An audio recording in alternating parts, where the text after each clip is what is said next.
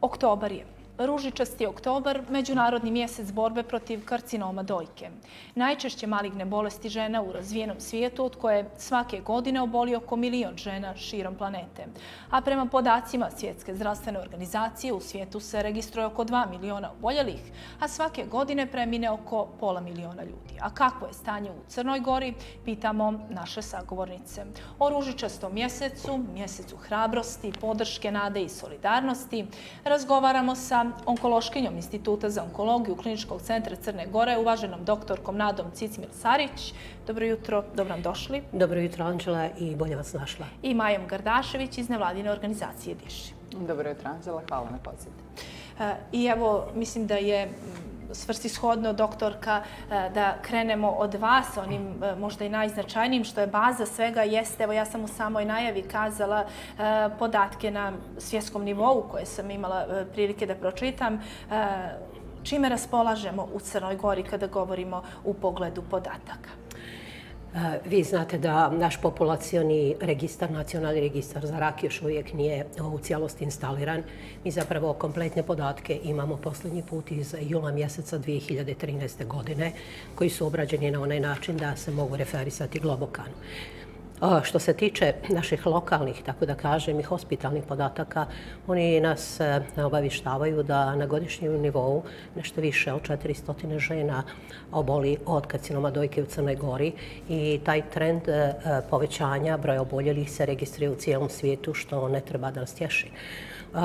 Kažemo da najmanje žena obolijeva u nerazvijenim dijelovima, kao što je E, Afrika i pojedine e, zemlje, e, tako da kažem, svijeta koji nije toliko razvijen. Međutim, diagnostika je tamo mnogo manje razvijena, dostupnost diagnostičkih procedura, gotovo nikakva, screening gotovo da ne postoji. Pa i tako je zapravo pitanje da li su ti podaci u nekim relativnim odnosima tačni. Tako da negdje otprilike oko polovine E, žena na godišnjem nivou od ovoga što sam rekla, nažalost, izgubi bitku, ali ono što bih smatrala izuzetno važnim da kažem jeste da od 2020. godine prema podacima Rebeke Zigel i njenih saradnika rak dojke po učestalosti novoobolivanja je zapravo nadmašio karcinom pluća. To je jedna izuzetno zabrinjavajuća informacija razgovarat ćemo i dalje sa vašeg stručnog aspekta. E, dakle, kada govorimo Majo o nevladinoj organizaciji DIŠI, znamo da pruža podršku i zaštitu prava e, onkološkim pacijentima i htjela bih da krenemo od onoga što je najaktuelnije i najnovije, a to je da je e, usvojena inicijativa koju ste predložili, a to je e, besplatna rehabilitacija za onkološke pacijente. E, o čemu je riječ? Ja pre svega sam na tu inicijativu jako ponosna i ovom prilikom želim da se zahvalim Ministarstvu zdravlja i ministru zdravlja gospodinu Vojislavu Šimunu koji su razmotrili do detalja tu inicijativu i moram reći u ekspresnom roku reagovali na istu.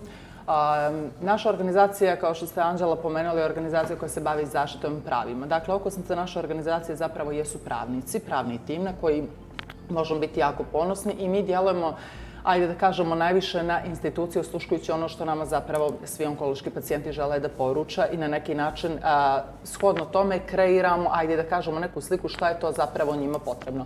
A, kada smo e, zapravo vidjeli da onkološki pacijenti su negdje željni te rehabilitacije, da su zapravo a, e, ne, ne, htjeli sebi da priušte odlaze u Kuigalo, da nakon svih tih terapija se na neki način i oporave.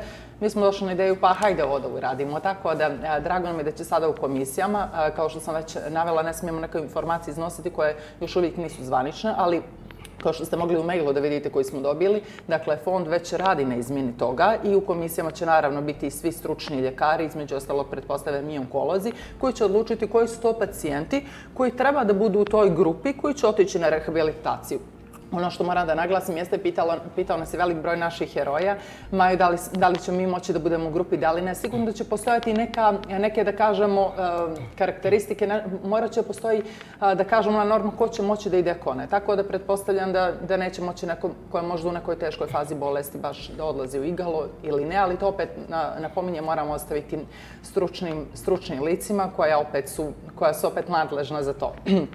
Ja opet napominjem kao neko ko je ispred MVO Diši, jako sam ponosna, ovo je na neki način bila kruna svega onog što smo mi radili i napominjem da ćemo nastaviti da osluškujemo sve što pacijenti žele da nam poruče i shodno tome djelovati.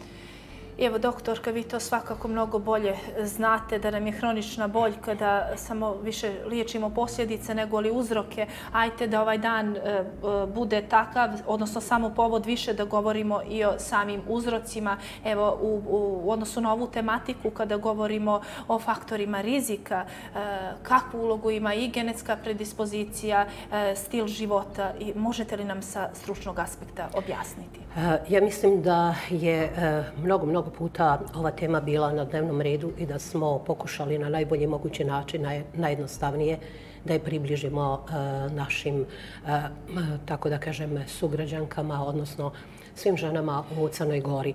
Pošao od e, faktora starenja koji predstavlja nešto što je neumitno i naravno na što ne možemo da djelujemo. Tu je naravno stil života, a to je e, ona jedna velika priča da se što više krećemo, da jedemo što je moguće zdravije, da unesimo dovoljno tečnosti, da e, rađamo našu djecu, da to činimo na vrijeme, da ne koristimo nekontrolisano razne oblike hormonskih preparata za stvaranje e, vještačke mladosti, pak se kaže, znate, izgledate 15 godina mlađe, tačno jeste, izgledamo, ali nikada nismo ni jedne milisekunde realno mlađi.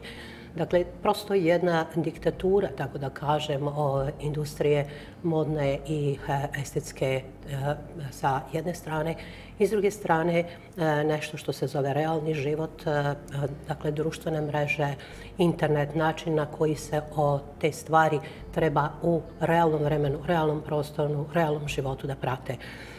Tako da zapravo tu su i neka E, zračenja u dječjoj dobi, ko što nisu rijetka kod određenih hematoloških maligniteta, koja kasnije mogu dati ovakve posljedice, zračenja uopšte e, i brojne druge stvari e, koje naše žene izvjesno najvećim dijelom dobro znaju, ali mnogo je lakše kazati, a to u život pretočiti je sigurno mnogo kompleksnije. Ima dosta toga, tako da kažem, i pravdanja, ne stignem, a to da ne stignem nije tačno to što mi kažemo da nemamo vremena, mi ga nemamo od kad se rodimo, jer od trenutka kad se rodimo, mi počnemo da ga trošimo. I zapravo bez ikakve filozofije, ako na taj način gledamo života, nažalost, ja ne volim tako nešto da uh, gledam i da kažem kao ni vi, ali to je realnost. Tako da, E, mnogo je, e, da ne govorimo o nekim ovaj faktorima loših životnih navika kao što je pušenje, brojni će reći, znate, to nema veze, najlakše reći nema veze, a to nije tačno. Tako da stil života, odnosno primarna prevencija je nešto što je svekoliko važno i lako je kazati kako to treba, veoma teško je to u životu i praksi sprovesti, e, jer ne krećemo se dovoljno i ne jedemo, ne hranimo se kako treba. Znate, doktorka, često čujemo, pa dobro, svi puše, pa ništa, nikom nije. Koliko je to zaista ima utica? Evo, kada govorimo i o dužini pušačkog staža i o broju cigareta, je li, je, je li to zaista značajan uzrok? E, pušenje je, e, ta, prosto da kažem, e, bolest koju čovjek sam sebi kupi. Prosto drugih bolesti koje sebi kupimo nema. To je jedina rak pluća kao posljedica pušenja je jedina bolest koju sebi kupimo, ali ne samo rak pluća, nego svi disajnih organa, vjerovali ili ne, mokračna bešika je izuzetno povezana sa tim i karcinom grlića materice i rak dojke to e, laičkoj populaciji djeluje nestvarno i kažu, znate, onaj tamo puši, da, onaj tamo puši, vidite, faktor je isti. E, s druge strane, e, cigareta je, tako da kažem, i nekih oko 8000 toksičnih materija koje se nalaze u duvanskom dimu, ne djeluju jednako na svakoga, jer domaćin je uvijek različit, dva ista, u istoriji ljudskog roda nisu postojala i ne mogu postojati. Zbog toga je bilo kakva komparacija besmislena, potpuno besmislena. I evo treći put kažem, dakle, da, e, duvanski dim, odnosno zloupotreba pušanja, svakako imaju utjecaja na učestalost pojave između ostalog i karcinoma dojke. E, doktor, govoreći o samim uzrocima, primijetit ću između ostalo, kazali ste i e, da rađamo djecu na vrijeme. Šta to znači? Mm. To u prevodu znači trebalo bi do 30. godine. Naravno da to nije na klik miša na računaru. Ovaj, nekada i tu ne nahiđete na odgovarajući jeli, odgovor. A, međutim, ako nešto planiramo u životu, ogromna većina nas planira, pa čak i nekakve sitne stvari tipa odlazak kod frizera koji zakažete ili neki pregled koji zakažete i putovanje koji zakažete. E pa i u tom kontekstu bi trebalo na neki način praviti realne planove. Dogovoriti se sam sa sobom da li čovjek želi da postane roditelj, da li ima namjeru da postane roditelj i kao treći faktor toga svetog trojstva, ako je to tako, postaviti prioritete. Jer ako su prioriteti da e, završimo školu, da sredimo stambeno pitanje, da obiđemo svijet, e, da napravimo karijeru, e, pa onda iza 30.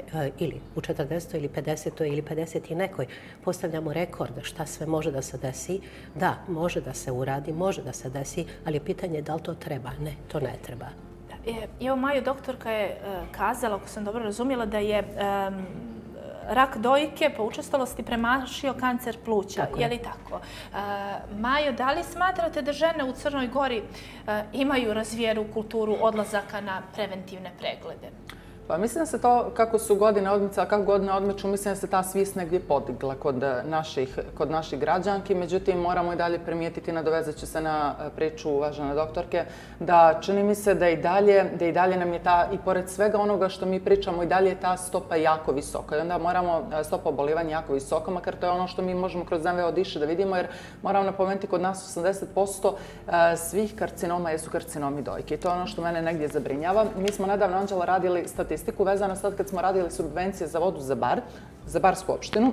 Napomenut ću da smo tu negdje mogli na osnovu svega toga da imamo neku nezvaničnu statistiku opet i mene opet tu zabrinuo na tako mali broj prijavljenih, velik broj karcinoma dojke. Jedan broj biohematoloških oboljenja, međutim opet je ta dojka koja prednjači. Znači, kada sam ja pozvala te žene i pitala da li su se odezvale na redovne preglede, ono što je meni bilo poražavajuće jeste, među njima je bilo dosta mladih žena, jeste pa znaš kako, djeca, treba da idem na posao. Opet žene čini mi se stavljaju sve preče i prioritet mimo svog zdravlja.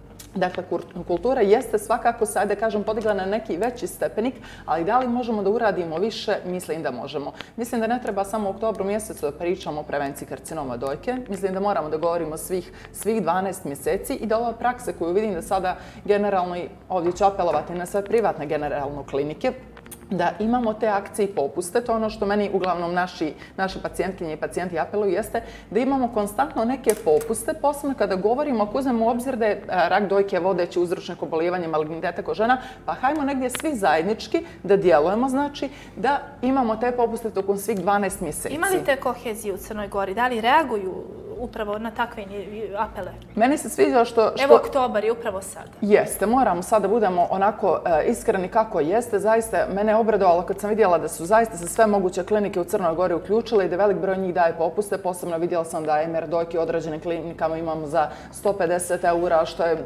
negdje za eh, ajde da kažemo za nekog, možda i može da izdvojite u cifru, možemo ultrazvučne preglede da dojke da nađemo već po cijeni od 20 eura i sad ja opet kažem, nadovezat ću se, eh, kao što nam je negdje eh, nama ženama u obezi da odemo i kod frizera sve, pa hajmo da izdvojimo tih 20 eura negdje, ajmo da zapostavimo te nokte i tu frizuru, ajmo jednom godišnje mini sebi, evo ga oktobar je, ajmo sebe da odemo i da častimo, e, poklonimo najljepši poklon, a to je upravo ultrazvučni pregled dojki, hajde da budemo zdrave prije svega i da svoj porodici poklonimo zdravu majku. Kada smo još uvijek u okvirima prevencije, doktorka, eh, 23. Decembra 2015. je urađen prvi screening u Crnoj Gori. Eh, dakle, evo sada eh, devet godina kasnije ili tako, e, kakvo je stanje? Koliko često su organizovani skrinizi u Crnoj Gori e, i na koji način se sve to odvija? Znam da je u početku bilo na samo četiri opštine, ne znam, vi sada objasnite, molim vas. Pa, pitanje skrininga, prevencije uopšte bi trebalo da bude e, pitanje kojim se bavi Institut za javno zdravlje i primarna zdravstvena zaštita. Zapravo trebalo bi možda razmišljati ovako u medijima da ljudi iz tih, tako da kažem, domena budu češće gosti, odnosno ljudi koji to rade neposredno, odnosno svaki dan, znaju to, to je jako, jako dobra ideja, to, to ovaj, zaista pozdravljam. E, zbog toga što oni najbolje znaju e, kakvi su problemi bili prikom instalacije samog skrininga, e, nabavke prvog digitalnog mamografa u koji smo svi gledali onako kao neki sveti grali, kao, pravo da vam kažem, onako neko e, čudo 21. vijeka. E, dakle, ta sporost obezbeđivanja e, drugog aparata, pa trebalo bi trećeg i tako dalje. E, također, e, način okupljanja žena samo tako na jednom mjestu, što je čini udaljenost, dakle, žena treba da putuje, ipak nije jednostavno odvojiti vrijeme ni ovdje u samom gradu u Podgorici da se ode i da se isplanira u odnosu na svakodnevne obaveze, a pogotovo da se dođe iz drugih sredina. Onda je došla korona koja je promijenila živote svi u nas i ostavila posljedice za kojih je možda sreća da ne znamo kakve jesu i kakve će biti, a ovaj, da tako živimo u tom blaženom neznanju makar neko vrijeme. I tu je došlo do dodatnih problema jer e, se ta, e, tako da kažem, e, mogućnost dolaska na screening zapravo ograničila praktično isključivo na samo glavni grad. E, nakon, e, e, ajde da kažem, nakon korone, ako tako mogu uopšte da kažem, došlo je do restitucije ovoga programa koji sada funkcioniše, ali još uvijek, nažalost, ne onako kako smo ga mi bili planirali, implementirali od 2015. godine kada je on krenuo. Imali smo i kritike od strane Ministarstva zdravlja prije jednog godinu dana. Jedan dobar dio njih jeste sigurno bio objektivan, ali opet opet e, uvijek i mali. E, ove stvari koje sam sada rekla i brojne koje će sigurno kolege iz Centra za dojku Kliničkog centra Crne Gore dodatno nabrojati su zaista objektivne. Učinili smo nešto, ali nismo još uvijek dovoljno. E, zaista ne možete vjerovati kolika je naša lična sreća i osjećaj uspjeha i pobjede kada na konzilijumu vidimo pacijentkinju koja ima tumor 5 mm, 7 neverovatnih mm i vi praktično, ili pak neku prekancerozu koja bi za godinu, dvije, pet sigurno bila rak dojke, a znamo da nikada neće biti. Ili pak te tumore kada možemo sa, tako da kažem, potpunom e, kompetentnošću, stručnom da kažemo ženi, ovo ne da može da se liječi, ovo može da se izliječi 100% i to će se zvati juče i toga ćete se jednog dana narado sjećati. E, screening je u razvijenim zemljama krenuo još 80. godina 20. vijeka i smanjio stopu smrtnosti za 30%, pa čak i nešto malo više. E, I evo, e, Majo, E, doktorka je kazala sa stručnog aspekta, opet sa druge strane, e, vi ste u svakodnevnoj komunikaciji sa e, onkološkim pacijentima, također kroz vašu NVO Diši, gdje i pružate podršku i nerijetko čujemo da neko ko ima kancer da je otišao u inostranstvo, da se liječi poput Turske, Skoplja na stranim klinikama. Pitam vas, šta kažu te žene iskustveno? Kakva je zapravo, da li to znači da mi zaostavimo zaostajemo u pogledu diagnostike i terapije u odnosu, e, da li imate takva saznanja i kakav je, da li je adekvatan zdravstveni sistem zapravo e, za liječenje, dakle, šta kažu žene? Pa mi, mi moramo uzeti obzir da mi Crna Gora, mi opet i Velika Njemačka, pa negdje što se kaže, nekom je sinoć od pacijentkinja čak napisao, velika, e, velika Njemačka nekad može da pogriješi. Tako da moramo uzeti obzir da mi raspolažemo tim šta imamo i ono što za meni generalno sve pacijentkinje se hvale i moramo sad reći sa ove strane, ne zbog toga što uvažena doktorka odje, nego zato što zapravo to tako jeste, jeste zapravo institut za onkologiju. Da ti ljudi daju svoj maksimum, svjedočimo velikom porastu broja onkoloških pacijenata u Crnoj Gori, ali da i pored toga broja s tim kapacitetima kojim institut raspolaže, oni daju svoj maksimum i rade najbolje što mogu. Tu moram Anđela uzeti u obzir da nekada ono čekanje na koje se oni žale, čekamo nekada sat, dva, tri, mislim da mora da postoji razumijevanje od pacijenata s te strane, da su zapravo i ljekari i medicinsko osoblje preopterećeni i da moraju i pacijenti sami i da nema prioriteta. Svako je tu zapravo prioritet sam po sebi. S druge strane, kada je diagnostika u pitanju, možemo reći da velik broj njih napominjem, nisam zaista srela Anđela da je neko vratio onkološkog pacijenta i rekao ne možeš da dođeš na pregled ili čekajte toliko i toliko. To se jako rijetko dešava, međutim nekada pacijenti i pored, kao što se dešava konkretno, ovo je jako važno da kažem za PET skener, kada preporuča ljekari, ljekari će preporučiti kada smatraju da postoji opravdanje za to da se šalje pacijent. Međutim, pacijenti i pored svega onoga kada im ljekari kažu da nema potrebe ići, pacijenti nekada na svoju ruku pođu i troše svoj novac zapravo nekada bez razloga. Tako da želim s ove, s ove sad pozicije da poručim pacijentima da nekada da zaista moraju imati povjerenje u svoje ljekare koji ih vode. A, diagnostika svakako smatram da liste čekanja za određene preventivne preglede moraju biti a, znatno, da kažemo, kraći, da nekada nam se i nama ne sviđa kada nam pacijenti kažu da čekaju za neke preventivne preglede i po nekoliko mjeseci. To je ono gdje postoji problematika, ali kada konkretno govorimo o onkološkim pacijentima kojima je postavljena dijagnoza da čekaju na neke preglede, to se zaista E, ne, ne čeka toliko dugo kao što je to možda predstavljeno javnosti i da zaista svi ljekari, posebno kada govorimo o kliničkom centru Crne Gore, zaista se trude, evo, pođemo od svog ličnog primjera koji se imala u porodici, svi izađu u susret. E, Evo, doktorka, na današnji dan je e, smatra važno pomenuti samu simptomatologiju, e, u čemu se ogleda. Evo, kada govorimo i o e, samopregledima, kako oni izgledaju e, kada se preporučuju ženama u ciklusu ili u menopauzi. E, I ono što je također važno jeste e, kolika je vjerovatnoća izliječenja ukoliko se upravo detektuje u ranoj fazi. E, što se tiče e, primarne prevencije, pored stila života o kome smo govorili, tu je svakako i samopregled koji se preporučuje već od 18. godine života. E, praktično negdje screening pregledi se rade do 69 godina života žene. To su neke, tako da kažem, knjiške granice. Svakako svaki čovjek je jedinstven za sebe i ne ponovi, pa se te stvari prilagođavaju. Što se tiče samopregleda, nekog prvog do osmog dana ciklusa, računajući od dana kada ciklus e, počne, e, su neke optimalne, e, je neki optimalni period kada je dojka hormonski najmirnija i kada je ženi najlakše napraviti pregled i naravno niko ne očekuje da će ona sama postaviti diagnozu jer mi radeći nekada 40 godina određenu materiju tražimo konsultaciju za određene stvari, ali će vidjeti da je se nešto zadržalo, da se nešto nije, tako da kažem, maklo, da se promijenilo, da je dobilo ili neku, tako da kažem, veći, e, veću dimenziju, veći volumen, e, da je došlo do e, zahvatanja kože, nabiranja kože, da je došlo do nekakvih promjena u pazušnoj jami koji prije nije bilo, eventualno nekog istjetka iz dojke.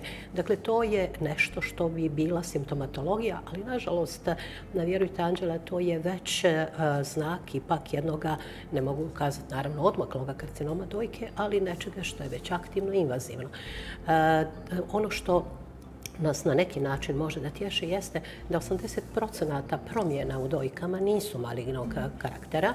Može da tješi i vas i mene, a i ovaj, našu ovaj, koleginicu. Međutim, ne tješi ženu koja spada u onih 20% koji imaju promjenu koja nije dobre naravi. U slučaju da se ta promjena nađe u prvom stadijumu, vjerovatnost izlječenja je svakako iznad 90%, seže i do 96%, iako je riječ o invazivnom malignom tumoru. Ako je riječ o prekancerozama ili ovim promjenama koje su ispod 1 cm, osobito ti tumori stadijuma 1A, ta izlječevost je praktično 100%. E, eto, to govori o značaju prevencije. E, e, međutim, e, mi se, nažalost, mnogo više bavimo ovim drugim segmentom eh, u našoj svakinjenjoj praksi i eh, vidim da se jako mnogo radi i kroz nevladine organizacije, što me beskreno raduje, i kod nas E, na institutu, e, o, e, dakle, na psihološkoj podršci pacijentkinjama, jer mi smo svi pacijenti za nešto, neko za nešto, neko za nešto, neko juče, neko danas, neko sutra. To sve koliko znači ovaj, oboljelim. Međutim, ja lično smatram da i u sklopu prevencije trebalo bi da se razmisli o angažovanju psihologa, dakle, da se razriješi osoba tabua, E, predrasuda, zabluda, straha, da nauči kako da voli sebe, cijeni sebe, sebe stavi na prvo mjesto, a da to naravno ne povrijedi okolinu, jer e, ono što je naj, e, tako da kažemo, osjetljiviji dio kod onkološkog bolesnika, osobito kod karcinoma dojke, jeste da ga ne daj Bože neko sažaliva.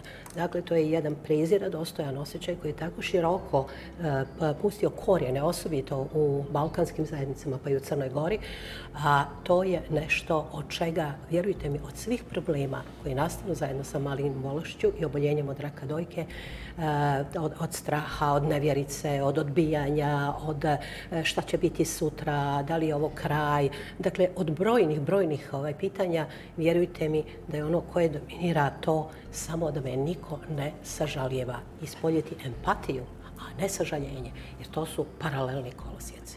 E, I e, ako se mogu nadovezati, doktorka, upravo u vezi sa tim, dakle, mi smo govorili e, i o preventivnoj, kurativnoj, imamo i palijativnu njegu o kojoj sam i nekada ranije razgovarala sa vama, znajući da ste vi radili, je li tako, na naučnom radu za svjetsku stručnu knjigu upravo u vezi sa palijativnom njegom mislim da e, ste mi upravo vi kazali da e, Poljska ima specijalizovanu oblast, je li tako, e, iz palijativne njege. Sigurna sam da mnogi gledalci i gledateljke ovoga jutra ne znaju uopšte ni termin palijativne njege, a kamoli detaljnije o tome. A ona je toliko značajna, upravo zato i postavljam ovo pitanje i kakva je njena uloga u Crnoj Gori i da li je, evo, poslije nekolike godine, da kažem, od pređešnjeg razgovora ona malo zaživjela na pravi način. Ja bih voljela da vam odgovorim pozitivno, ali u jednoj riječi ne mogu da kažem da. E, palijacija je nešto što je veoma neobično ga porijekla sama riječ. E, nešto palijativno znači nešto što je maskirano, što je skriveno, što je nekim plaštom zaklonjeno, a u suštini to je znači e, u prevodu na jezik prakse određeno maskiranje simptoma, u, ja to obično kažem, spasiti što se spasiti da. To je suportivna terapija, simptomatska terapija, ali za kvalitet života i za e, dostojanstven i završetak našeg života je e, kondicio sine qua non. Dakle, nešto što je e, nevažno nego što je najvažnije. E, mi to e, sprovodimo e, manjim dijelom u hospitalnim uslovima u pojedinim klinikama, jer palijaciji ne pripada samo onkologija, nego i brojne psihijatrijske bolesti, neurološke bolesti, politraume, razni oblici... Ta psihosocijalna potpora. Ta psihosocijalna potpora je do te mjere značajna da je veoma teško, čak i kad imate veoma bogat riječnik, u jednoj ili čak dvije riječi kazati zapravo koji je nivo značaja psihosocijalne podrške. I moram ovaj, da kažem da sam ja zaista izuzetno, izuzetno i kao čovjek i kao e, ljekar sretna da mi zadnjih godina imamo e, psihologe e, koji daju iz, ne izuzetan, nego više nego izuzetan doprinos našim pacijentima, a oni to i javno i na najljepši mogući način pokazuju koliko im je to značajno, pošto nemamo razvijenu patronažnu službu, specifično onkološko e, timove, možda mobilne timove, mi sve lijepo znamo, vi ste u pravu zaista, mi smo čak radili ovaj, za e, Oxford Book i za ovaj Springer Book zajedno s mojim cijenjenim kolegicama e, Damirom ovaj, i Milenom, psiholozima, upravo ovaj segment obrađivali i mi savršeno znamo kako bi taj poljski model koji je još 2002. nastao kao posebna specializacija i implementacija u praksi, primijenili, podržali kao i sve drugo, ali nemamo u ovom trenutku konkretno organizovano još uvijek na taj način za nešto da se uhvatimo, tako da kažem. E, ja, Maja, upravo u kontekstu tematike liječenja, e, pominjali ste nedostatke lijekova za onkološke pacijente, e, nestašice, citostatika, je li tako, kako je stanje i kakva su sada saznanja? Pa, e, konstantno, kažem, često, ako ko prate našu Instagram strancu, možete vidjeti da se mi često uključimo live i da volimo da čujemo što zaista pacijenti žele da nam poruče. To nije neka određena grupa pacijenata koju mi možda onako želimo da uključimo, nego zapravo svi građani širom Crne Gore mogu da se uključe. I zapravo, nedostatak citostatika je bio prisutan u jednom periodu, moramo naglasiti.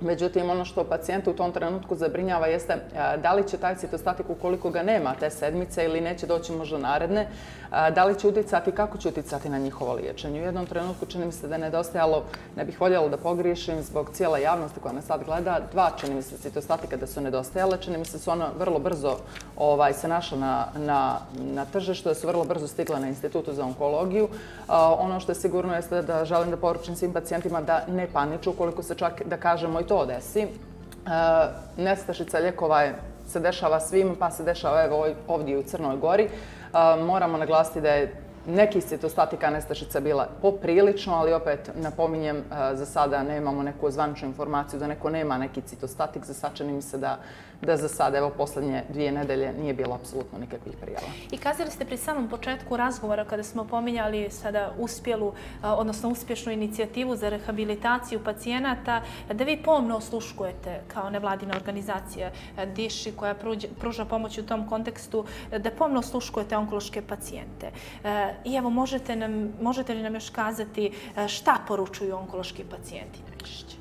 Pa, onkološki pacijenti zapravo poručuju sve ovo. Ja, ja sam neko čini mi se u Crnoj Gori ko se najviše čuje po pitanju tuđe njege invalidnine i mislim onako kad kažete Maja, mislim da kažu evo opet se bori za, za tuđe njegu invalidninu. Mene je vrlo važan taj moment koji je kod svih pacijenata generalno u sve ovo što je prethodno doktorka navela njima jako važno, a to je taj, ajde da kažemo, ekonomski trenutak, ekonomski aspekt da li će oni dobiti tu tuđu njegu, kako će to uticati na njih, šta ako me odbije i onda je moment, pa ja sam onkološki pacijent, zašto me neko odbije za tih 90 eura, meni to treba da kupim lik, treba mi da kupim taj suplement neki koji će možda trajati nekih nepunih mjesec dana. I to je ono što, što oni najčešće, o čemu vole oni zapravo da pričaju sa nama i na što nam konstantno ukazuju. Na, tako da apelujemo sad sa ove pozicije kao nevladina organizacija Diši i na brojna druga ministarstva, ministarstvo radi i socijalnog staranja, radi se sigurno na izmjeni tog pravilnika, dobili smo zvaničnu informaciju, da bi iznos te tuđe njege zaista za onkološke pacijente, ne samo za onkološke, nego za sve trebao da bude znatno veći, jer smo svjedoci Anđela